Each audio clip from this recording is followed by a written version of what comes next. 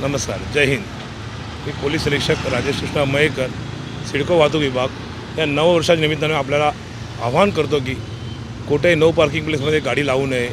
कृपया आपले घरचे आपले वडील वाट पाहत आहे वडीलधारी व्यक्ती. हेल्मेट घाला ट्रिपल शीट जाऊ नये. तसेच वा फोर व्हीलर चालवताना सीट बेल्टचा वापर करावा. या छोट्या छोट्या गोष्टी आपल्या केल्या तरी आपलं आपल्याला वाहतुकीचे नियम पाळण्यासारखं होईल. आपले घरचे आपले वडील वाट बघतात आहे वडीलधारी व्यक्ती. पती पत्नी मुलगा तरी कृपया करून आपण हेल्मेट परिधान करावं.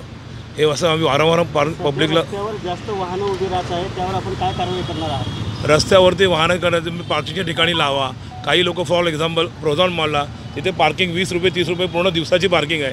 तरी लोक स्वतःची लाख लाखाच्या गाड्या लाख मुलाच्या गाड्या रस्त्यावर लावतात आणि वाहतुकीस अडथळा करतात. नाही लाजाने आम्हाला कॉल येतो मग आम्हाला ती कारवाई करत. कृपया नागरिकांना या निमित्ताने मी आवाहन करतो की त्यांनी वाहतुकीचे नियम पाळावे. पार्किंग प्लेसमध्ये पार्किंग लावावे जेणेकरून वाहतुकीचा अडथळा होणार नाही रहदारी होणार नाही. आपल्यामुळे कोणाची डेंजरस पार्किंग पण रस्त्यात लावू नये. जेव्हा आपल्यामुळे दुसऱ्याचा जीव धोक्यात धोकात होईल आणि त्यामुळे अपघात होईल. कृपया या कटाक्षाने गोष्टी पाळाव्या. हे नम्र आवाहन करतो. R N S news channel धन्यवाद. जय हिंद जय महाराष्ट्र.